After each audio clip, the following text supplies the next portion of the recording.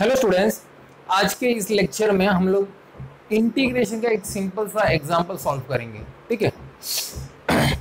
ये एक एग्जांपल दिया है इंटीग्रे इंटीग्रेशन का, ठीक है? इनडेफिनेट इंटीग्रेशन का। तो evaluate integral of root of one plus sine two x into d x ठीक है? तो हम लोग इसको क्या करते हैं? I is equal to integral of one plus sine two x d x लिखते हैं। ठीक है? अब देखो, ये स्टेप ये पहले हम सोचो, इसमें हम लोग को करना क्या पहले? हम लोग कैसे इसको सॉल्व करेंगे? अप्रोच कैसे करेंगे इसको? अब इसमें देखो रूट दिया है।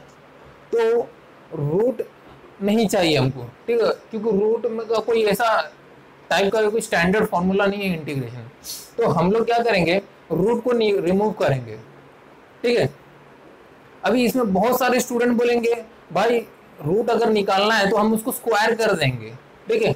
आप इसको स्क्वायर करोगे रूट निकल जाएगा। इसको अगर स्क्वायर करोगे रूट निकल जाएगा। ठीक है? पर राइट हैंड साइड का स्क्वायर रूट निकलेगा, पर लेफ़्ट हैंड साइड का तो स्क्वायर रूट नहीं निकलेगा ना। ठीक है? लेफ़्ट हैंड साइड में तो लेफ़्ट हैंड साइड में आई है। ठीक है? तो ये पार्ट का स्क्वायर कैसा होगा? ठीक है? राइट हैंड साइड में आप इसको स्क्वायर करके स्क्वायर रूट को निकाल सकते हो। ठीक है? स्क्वायर रूट को निकालना है तो इसको squaring on both the side करोगे तो राइट हैंड साइड का तो स्क्वायर निकल जाएगा, पर लेफ़्ट हैंड साइड का नहीं निकलेगा। क्योंकि आई का तो स्क्वायर हम लोग स्क्वायरिंग नहीं करते हैं, ठीक है? इंटीग्रेशन का स्क्वायर नहीं होता है, ठीक है? तो हम लोग क्या करेंगे? हम लोग एक लॉजिक लगाएँगे, ठीक है? निकालने के लिए। I is equal to square root of इसमें देखो वन वन को मैं साइन स्क्वायर एक्स ठीक है plus cos square x sine square plus cos x square cos square x क्या होता है? वन होता है, ठीक है? तो वन के जगह मैं sine square x plus cos square x लिख सकता हूँ, ठीक है? और साइन टू एक्स को। What is the formula for sine two x sine two x is nothing but two sine x into cos x होता है। What is the formula for sine two x sine two x is nothing but two sine x into cos x तो अगर मैं sine two x का value इसमें डालू two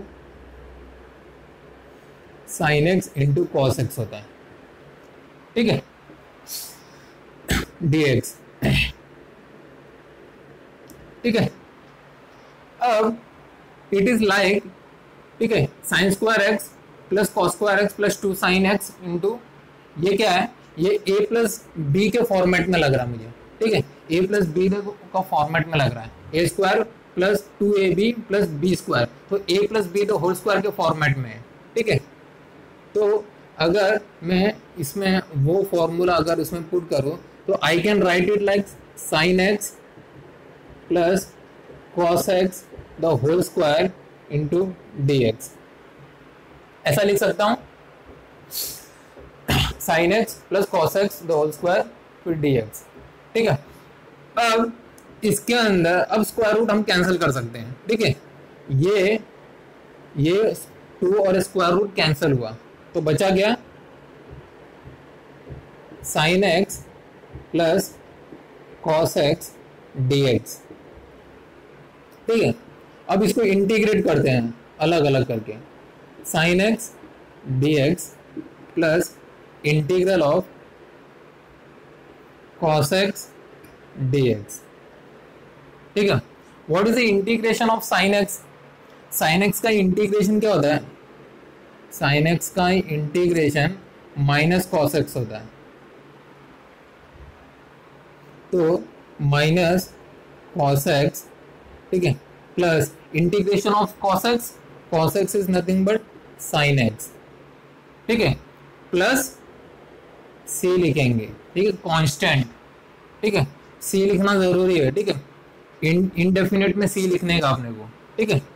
तो final answer is I is equal to minus cos x plus sine x ठीक है।